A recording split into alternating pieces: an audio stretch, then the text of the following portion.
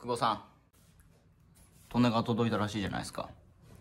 僕も暇つぶし用に暇つぶし用の90インチのプロジェクターですよ。90インチの。スクリーン。これちょあれですかでそうそう。このマリオカートをねマリオカートこれ暇つぶしなんですけどこれをこっちに移すっていうのをやりたくて。で久保さん。びっくりしてびっくりするんですけどこれ4カセット付きで4000円ぐらいで買ったんですよ。スーファミね。で4000円ぐらいで買ったんですけどそのこのケーブルですね。このこのケーブルが1万3000円するっていうね。本体とカセットよりこっちのケーブルの方が高いっていうね。じゃあせっかくなんで映していきましょうか。まああの映ったんで。久保さんマリオカートこちらでね、ちょっとね昼間なんで明るいですけど。利根川いいじゃないですか利根川。利根川ね利根川いいじゃないですか。ちょっと昼間明るいからねちょっと。あんま映り良くないですけど。でこれでつけていきます。ビビン。来た来た来た来ましたよ 久保さん。久保さん。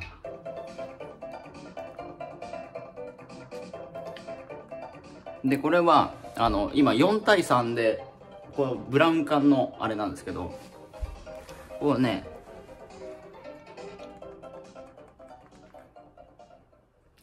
これを変えられるんですよねここでボタンで。フルサイズに変え今フルサイズあれ？これフルサイズに変えましたほら。フルサイズにもできます。これでスーファミできますよでもやったんですけどちょっと遅延がちょっとありますね。遅延が。なんかブラウン管テレビのレスポンスが出ないです。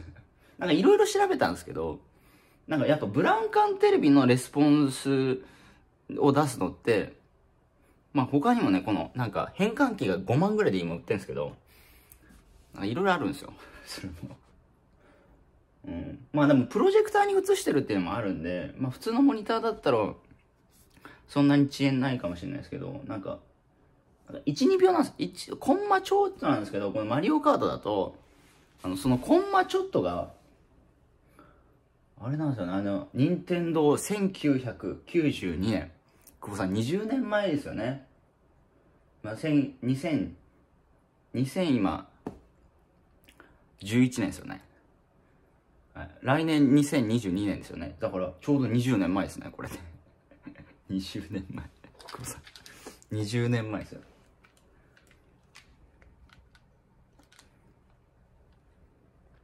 20年前ですね。20年後、これで、贅沢ですね、久保さん。これ。で、あとね、これね、今、黄ばんでるんで、この黄ばんでるやつをハイターでね、撮ろうかなと思ってて、まあそれも YouTube で今あって、その分解してこれをハイターで1ヶ月ぐらいつけつつけると綺麗になるみたいな。夢の楽園でございます。マリオカート。懐かしいっすね。あとね、ストリートファイター2とかもね、ちょっとあの、昔めちゃめちゃやった、やったやつをちょっと買ってこうかなと思います。やっぱね、このね、これなんですよ。この、っていうね、これ。これなんです。これなんです。でも20年前のがこう作ってすごいっすよね。すごないですか ?20 年前のこう普通にこうできるっていうのが、すごいですね。久保さん。ちょっと4対3にしましょう。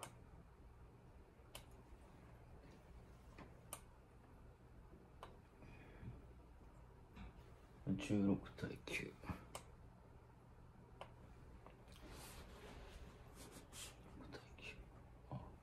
これ16対9ですね。4対3これがテレビモードですね。昔の。いいじゃないですか。中間管理と利根川。でそうそう。でまあ何かっていうとスーパーファミコン買ったんですよっていう、まあ、動画で言ったら、で、そこの買った理由が、金稼ぐために買ったって言ったらね、驚いてた人がいて、あの、これすら金に変えてきますからね、僕。あの、これすら。要はこれ買った理由は、もちろんその、暇つぶしってのもあるんですけど、要は、その、ゲームのそのキーワードっていうのが、僕ないんですよ、動画に、あんまり。なんで、その昔レトロのみんな、な僕の世代で相当やった人とか、懐かしいなっていうアクセス、なくさ懐かしいアクセスをね、集めていこうかなと思って。これでいろいろ買って、レビューして、やって。で、しかもね、著作権的にも、まあ相当古いんで、20年前なんで、まあその、まあいろいろ YouTube 見たんですけど、まあ、なんかい、やっぱ大丈夫じゃないかなってそうまあこれからちょっとテストしていきますけどね。だ BGM もね、入れて YouTube やってる人もいるんで、うん、20年前ですからね。もう販売してないからね、これ。いやー、懐かしいな僕はもうスーパーファミコンからあの止まってますんで、スーパーファミコンからもう頭が止まってます、ゲームは。はい、すごいですね、こういうのがあって。だから HDM ケーブルじゃないとダメじゃないですか、今って。そう。はい、では。